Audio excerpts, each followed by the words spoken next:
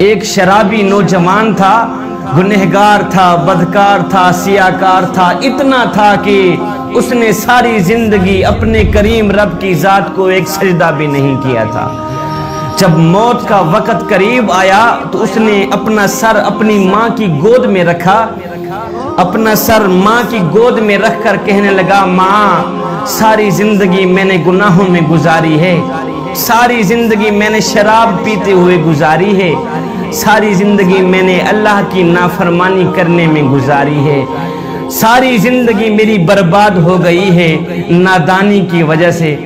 माँ, मेरा मौत का वक़्त करीब है, मैं मर गया तो अपने मुर्शिद के पास जाना, सफारिश कराना कि वो मेरा जनाजा आके खुद ही पढ़ाएगा। साफ़ जहर है कि मुर्शिद जब जनाजा पढ़ाने के लिए आएगा तो चार बंदे भी उसके साथ होंगे। नहीं तो मेरा जनाजा कौन पड़ेगा मैं तो इतना गुनहगार हूँ, बदकार, सियाकार हूँ। मैंने सारी ज़िंदगी शराबें पीते हुए, अल्लाह की नाफरमानी करते हुए गुजार दिए अल्लाह अकबर। माँ उठी, गई अपने मुर्शिद हज़रत हसन बसरी के पास। जाकर कहने लगी, मेरे मुर्शिद, मेरा बेटा मौत के करीब है। तो वो कह रहा है जब मैं मर जाऊँ तो अपने मुर्शिद को कहना कि वो आके मेरा जनाजा पढ़ाएगा। हज़रत हसन बसरी कहने लगे, माई, वो मर गया तो मैं उसका जनाजा नहीं पढ़ाऊँगा। उसने सारी ज़िंदगी शराबें पीते हुए गुजारी हैं, सारी ज़िंदगी वो मस्जिद के करीब भी नहीं गया। सारी ज़िंदगी उसने अपने करीम रब की जात को एक सजदा करना भी गवारा नहीं किया। मैं उसका जनाजा कैसे पढ़ा सकता हूँ? अल्लाह अकबर, वो माँ रोते हुए वापस आई, दोबारा अपनी गोद में अपने बेटे का सर रखा, सर रख कर कहने लगी, बेटा, काश कि तूने ज़िंदगी में एक बात भी मेरी मानी होती तो आज मेरा मुर्शिद जनाजा पढ़ाने से इनकार न करता। ज़िंदगी में एक बात पर भी तूने अमल किया होता, आज मेरा मुर्शिद तेरा जनाजा पढ़ाने से इनकार न करता। मेरा मुर्शिद कहता है कि इसने सारी ज़िंदगी अल्लाह की नाफरमानी में गुजारी है, शराबें पीते हुए गुजारी है, मैं इसका जनाजा नहीं पढ़ाता। अल्लाह अकबर, नौजवान रोने लग गया। जवानों, सुनो, नौजवान की आँखें खून के आँसू बहाने लग गई, माँ तड़पने लग गई। नौजवान ने कहा, अम्मा जी, एक बात तो बताएँ। माँ कहने लगी, जी, बोलो बेटा, क्या कहना चाहते हो? नौजवान ने कहा, माँ, मुझे इतना बता दे कि मेरे गुनाह ज़्यादा हैं या मेरे करीम रब की रहमत ज़्यादा है। मेरे गुनाह ज़्यादा हैं, मेरी बदकारियाँ ज़्यादा हैं या उस करीम रब की रहमत ज़्यादा है। माँ, खामोश रही। माँ ने कोई जवाब ना दिया। उसके बाद बेटा रो कर कहने लगा, माँ, मुझे एक बात तो बता दे।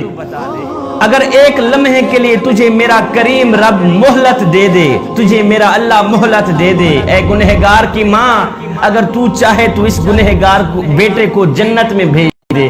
अगर तू चाहे तो इसको जहन्नम में भेज दे। अगर एक लम्हे के लिए मेरा अल्लाह तुझे मोहलत दे भी दे तो मुझे कहाँ डालेगी? जन्नत में डालेगी या जहन्नम में फेंक देगी? माँ फ़ौरन बोली, नहीं बेटे अगर मुझे एक लम्हे के लिए भी मेरा अल्लाह मोहलत दे दे तो मैं तुझे जन्नत का दरवाज़ा खोल के अंदर डाल दूँगी, जन्नत में ही भेज दूँगी, फ़ौरन भेज दूँगी। नौजवान तड़प कर कहने लगा, अम्मा जी, जो खुदा सत्तर माओ से भी ज़्यादा मोहब्बत करने वाला है, वो मुझे जहन्नुम में कैसे डाल सकता है? तू एक माँ जितना प्यार करती है, वो मेरा करीम रब सत्तर माओ से भी ज़्यादा मोहब्बत करता है मुझसे वो मुझे जहन्नुम में कैसे डालेगा? ये कहते हुए, खशियत इलाही में आकर, आँखों से आँसू बहाते हुए, आँखों से नीर बहाते हुए, नौजवान की रूह परवाज कर गई। इधर माँ रो रही थी, दूसरा कोई रोने वाला नहीं था बेटे को। उधर किसी ने दरवाजे पे आके दस्तक दी। माँ ने जब दरवाज़ा खोला तो सामने मुर्शिद करीम नज़र आए, हज़रत हसन बसरी नज़र आए। मोहतरमा कहने लगी, मुर्शिद करीम, आपने तो मुझे जवाब दिया था। आप कैसे आ गए? आपको कैसे पता चला कि मेरा बेटा फोत हो गया है? मुर्शिद करीम कहने लगे, मोहतरमा जी, जब तू मेरे पास आई थी, उस वक्त मैं सोने लगा था।